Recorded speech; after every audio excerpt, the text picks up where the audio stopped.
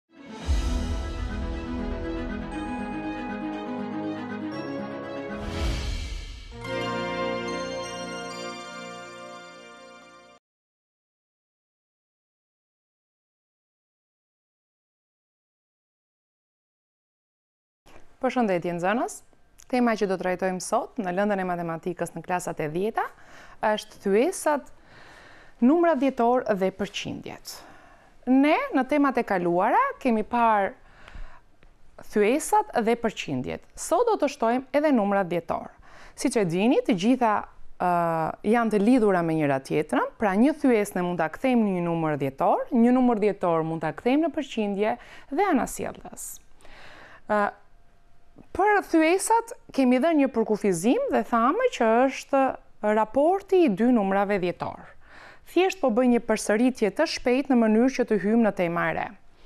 Përqindja tregon numrin e pjesëve kur e tëra ndahet në 100 pjesë. Dhe numri dhjetor është i përbërë nga tre pjesë. Është i përbërë nga pjesa e plotë, nga presja dhjetore dhe nga pjesa dhjetore. Siç e shohim, zero presje tre, unë thashë që mund të kthehet edhe në thyesë edhe në përqindje. Në këtë rast, numrat dhjetorë i kemi kthyer në thyesa dhjetore. Pra, zero presje tre, dimë që kur kemi një shifër pas presjes, Emëruesi do të jetë dhjetë, pra zero presje tre e barabartë me tre të dhjetat. Në rasti i dytë, kur kemi dy shifra pas presjes dhjetore, emëruesi do të jetë njëqind dhe do të shkruhet shtatëdhjetë e një mbi njëqind. Një presje dyqind e pesëdhjetë e tre. Kemi tre shifra në pjesën dhjetore, pra emëruesi do të jetë një mijë, kështu që një mijë e dyqind e pesëdhjetë e tre mbi një mijë. Me këto tre shembuj, unë tregova se si një numër dhjetor kthehet në thyesa dhjetore. Thyesa dhjetore, kini parasysh, janë thyesat që në emërues kanë një fuqi të dhjetës.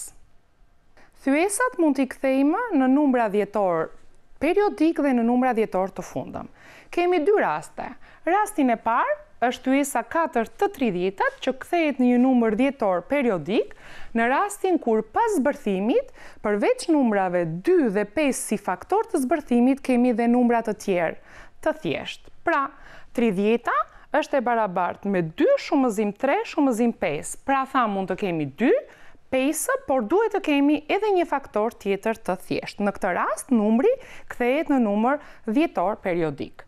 Në rastin e dytë, kemi thyesën shtatë të gjashtëmbëdhjetat. Shohim që emëruesi është gjashtëmbëdhjetë. Pra, gjashtëmbëdhjeta është si prodhim i katër dyshave. Ndryshe, unë e kam shkrujtur dy në fuqi të katërt. Pra, shohim që kemi prodhim vetëm të dyshave ose vetëm të pesave. Pra, nuk kemi një faktor tjetër përveç dyshit dhe pesës. Në këtë rast, numri dhjetor që do të dalë nga pjesëtimi i thyesës do të jetë periodik.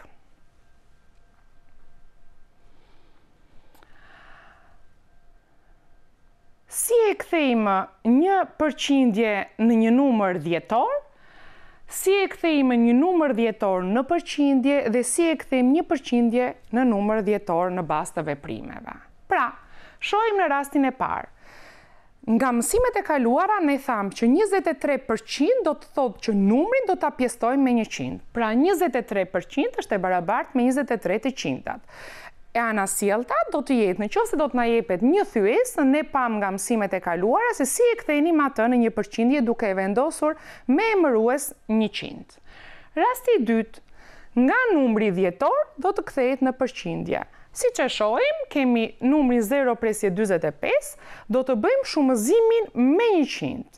Pas shumëzimit me njëqind, numri dhjetor na kthehet në përqindje, në këtë rast dyzet e pesë për qind. Dhe rasti i tretë, nga përqindje në numër dhjetor. Thamë, tridhjetë për qind do të shkruhet si thyesë numër mbi njëqind. Pra tridhjetë mbi njëqind është e barabartë nga pjesëtimi na del zero presje tre. Pra, përqindjen e kthyem në një numër dhjetor.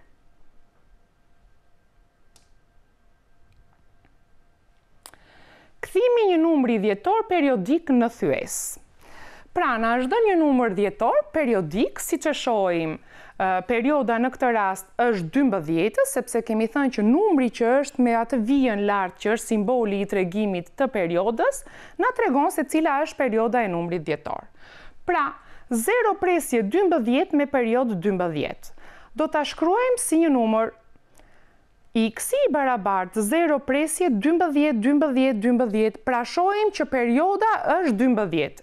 Ja u thashë në këtë mënyrë për të dalluar që ky numri dymbëdhjetë me këtë vijën sipër është perioda e numrit periodik. Tre pikat në vijim tregojnë që numri është periodik i pafundëm.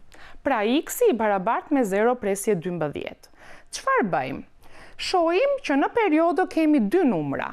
Pra, në mënyrë që ne të zhvendosim presjen dhjetore tek numri që kemi marrë të barabartë me x dy shifra në mënyrë që pjesën dhjetore të numrit ta kemi të njëjtë me numrin x, atëherë e bëjmë shumëzimin me njëqind. Kështu që njëqind shumëzim x e barabartë me dymbëdhjetë presje dymbëdhjetë dymbëdhjetë. Shohim që perioda dhe në numri x dhe në numrin njëqind shumëzim x është i njëjtë. Pra do të shumëzojmë me atë faktor X-in, fuqi të dhjetës, dhjetë, njëqind dhe një mijë, deri në momentin që pjesa dhjetore e të dyja numrave të jetë e njëjtë. Më pas vazhdojmë me ndryshesën midis këtyre numrave, njëqind x minus x, nëntëdhjetë e nëntë x. Dymbëdhjetë presje dymbëdhjetë me periodë dymbëdhjetë dhe zero presje dymbëdhjetë me periodë dymbëdhjetë pas zbritjes meqenëse pjesën dhjetore e kemi të njëjtë atëherë do të zbresim vetëm pjesët e plota dymbëdhjetë minus zero del dymbëdhjetë për të gjetur x-in do të pjestojmë të dyja anët me nëntëdhjetë e nëntë kështu që x-i del i barabartë me dymbëdhjetë të nëntëdhjetë e nëntat pas thjeshtimeve me tre del x-i i barabartë me katër të tretat. Pra bëmë kthimin e një numri dhjetor periodik me periodë dymbëdhjetë në një thyesë deri në momentin që thyesa është e pathjeshtueshme. Ky ishte rasti i parë.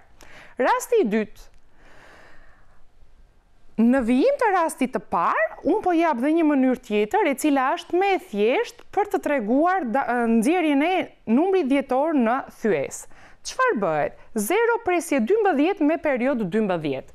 Merret i gjithë numri, pa patur parasysh që ne kemi presje dhjetore. Pra, zero presje dymbëdhjetë, numri në këtë rast do të jetë dymbëdhjeta. Minus, marrim pjesën që nuk ka vijën lart të periodës, pra zero, mbi nëntëdhjetë e nëntë në këtë rast. Pse nëntëdhjetë e nëntë? Sepse dy shifra kemi në periodë, pra dymbëdhjetë, kështu që do të merren dy nënta. Dymbëdhjetë minus zero mbi nëntëdhjetë e nëntë del dymbëdhjetë të nëntëdhjetë e nëntat, katër mbi tridhjetë e tre. Përfundimi është i njëjtë. Mënyra e dytë është mënyra më e shkurtër e zgjidhjes të këtij lloj ushtrimi. Vazhdojmë me disa shembuj që tregojnë se si kthehen përqindjet në thyesa dhe në numra dhjetorë. 15% është e barabartë nga kthimi i përqindjes në thyesë e barabartë me 15 të qindtat. Duke bërë pjestimin është e barabartë me 0 presje 15. Pra, një përqindje e kthyem në thyesë dhe më pas e kthyem në një numër dhjetor. Rasti i dytë, tetë për qind, përsëri do ta kthejmë në thyesë tetë të njëqindtat, është e barabartë nga pjestimi me zero presje zero tetë. Duke ditur që në emërues kemi njëqind, tetë pjestim njëqind, presja do të na zhvendoset dy njësi majtas, kemi thënë, nga pjestimi me fuqi të dhjetës, pra do të dalë zero presje zero tetë. Rasti i tretë, njëqind e pesëdhjetë për qind është e barabartë me njëqind e pesëdhjetë pjesëtim për njëqind është e barabartë me një presje pesëdhjetë ose një pikë pesë. Shembujt në vijim i takojnë kthimit të thyesave në numra dhjetorë dhe në përqindje. Katërmbëdhjetë për qind Katërmbëdhjetë të qindtat është e barabartë me katërmbëdhjetë për qind e barabartë me zero presje katërmbëdhjetë. Tre të pestat është një variant ndryshe i kthimit të thyesës në përqindje apo në numër dhjetor. Në rastin kur është emëruesi mbi njëqind, është më e thjeshtë, sepse ne dimë që numër mbi njëqind është e barabartë me atë numër në përqindje. Në rastin kur emëruesi është pesë, çfarë do të bëjmë? Do të gjejmë faktorin të cilin emëruesin do të na e bëjë njëqind. Atëherë, pesë shumëzim njëzet është e barabartë me njëqind. Me atë faktor që do të shumëzohet emëruesi, do të shumëzohet dhe numëruesi. Tre shumë një, shumëzim njëzet e barabartë me gjashtëdhjetë. Në këtë rast, gjashtëdhjetë të njëqindtat ne mund ta kthejmë në përqindje. Gjashtëdhjetë përqind Dhe nga pjesëtimi gjashtëdhjetë mbi njëqind është e barabartë me zero presje gjashtë. Pra një thyesë me emërues të ndryshëm nga njëqind ne e kthyem në përqindje dhe në numër dhjetor. Rasti i tretë është shtatë të njëzet e pestat. Përsëri shohim që emëruesi është njëzet e pesë i ndryshëm nga njëqind, pra do të gjejmë faktorin që do ta shumëzojmë dhe do ta kthejmë në njëqind. Njëzet e pesë shumëzim për katër, njëqind.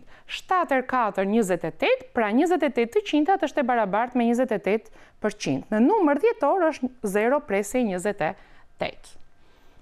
Thyesa e fundit është një e dymbëdhjeta. Shohim që nga pjesëtimi një e dymbëdhjeta është e barabartë me zero presje zero tetëdhjetë e tre, vija thamë na tregon periodën pra numri do të jetë i pafundëm është me periodë Tre. Si do ta kthejmë në përqindje?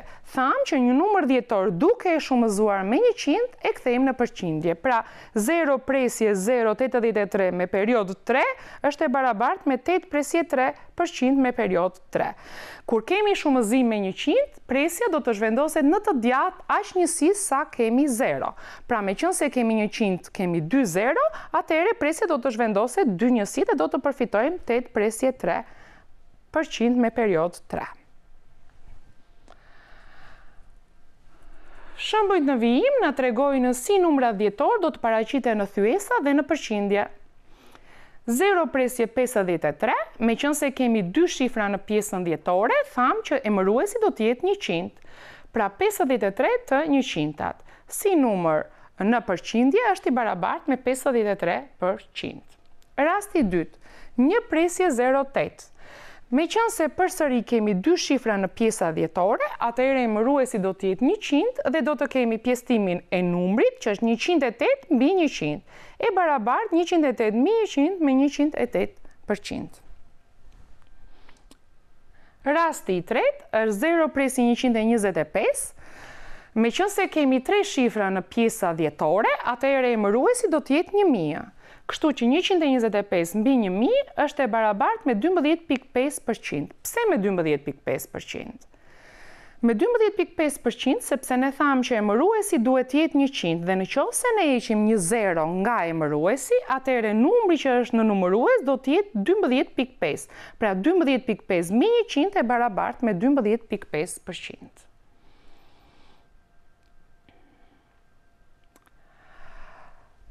Gjeni njëzet e tre për qind të dyzet e pesës.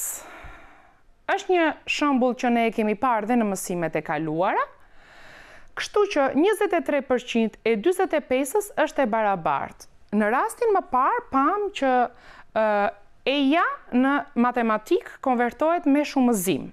Po ashtu, kemi ndryshimin nga përqindje në numër dhjetor, kështu që njëzet e tre përqind është e barabartë me zero presje njëzet e tre, shumëzim dyzet e pesë dhe del dhjetë presje tridhjetë e pesë. Një shembull ku tregon zbatimin e përqindjes, të numrave dhjetorë dhe të të thyesave është sa përqind e tridhjetë e dyshit është njëzet e treshi. Pra, nuk kemi të gjejmë përqindjen e një numri, po do të gjejmë sa përqind është ai numër tek e gjitha. Kështu që, e para do të shënohen sasitë si thyesa. Meqenëse thuhet përqindja e tridhjetë e dyshit është njëzet e treshi, atëherë njëzet e treshi është numëruesi dhe tridhjetë e dyshi është emëruesi, pasi tridhjetë e dyshi është e tëra dhe njëzet e treshi është sa përqind nga tridhjetë e dyshi. Pra, do të shohim. Njëzet e treshi sasia që do të kemi si përqindje dhe tridhjetë e dyshi është sasia në total. Do të kemi kthimin e numrit thyesor në numër dhjetor, që është i barabartë me zero presje shtatëdhjetë e një mijë tetëqind e shtatëdhjetë e pesë të rrumbullakosur me dy shifra dhjetore zero presje shtatëdhjetë e dy. Dhe më pas, meqenëse ne na kërkohet të gjejmë sa përqind është njëzet e treshi në tridhjetë e dyshi, atëherë zero presje shtatëdhjetë e dy shumëzim njëqind bëjmë kthimin e numrit dhjetor në përqindje që është shtatëdhjetë e dy përqind. Pra, njëzet e treshi është shtatëdhjetë e dy përqindshi i tridhjetë e dyshit. Ju falenderoj për vëmendjen.